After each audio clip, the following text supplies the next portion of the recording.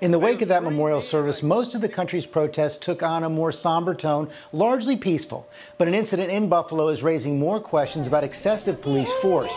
Two police officers caught on camera shoving an elderly protester into the ground. You see it right there. It is disturbing. Whit Johnson starts us off with the fallout. Good morning, Whit. George, good morning to you. In these turbulent times, police officers across the country are being tested like never before. They are increasingly under the microscope, and we have seen uplifting moments with officers engaging with the protesters, even embracing them. But they are also being called out, accused of using excessive force in incidents often caught on camera.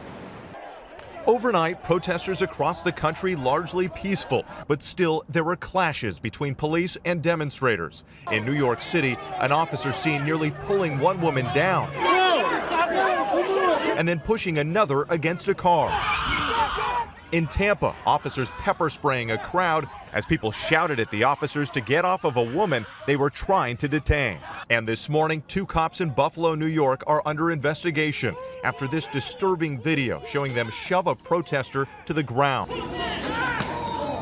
That 75 year old man suffering serious injuries, but the officer keeps walking as the man lies bleeding on the sidewalk. Another officer appears to radio for help. The man rushed to a hospital where he is in serious but stable condition.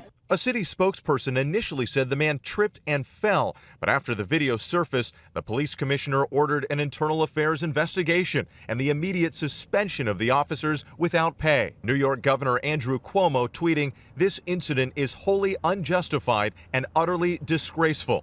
Across the country, police departments grappling with a wave of complaints against officers amid the ongoing protests. In Seattle, where a young girl was pepper sprayed by officers, the city says it has received more than 14,000 complaints since the protests began.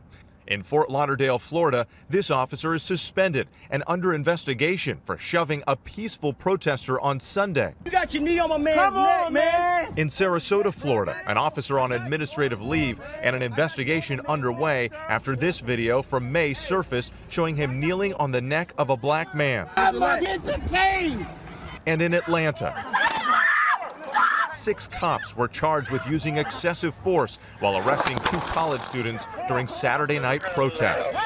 Police here in New York are also being criticized for arresting a food delivery worker who is just out after curfew. Take a look at the video here that was seen on social media. You can even see his red insulated food bag taken away as the man is placed in handcuffs. In a tweet, Mayor de Blasio said, This is not acceptable and must stop. TJ? All right, Whit, thank you so much.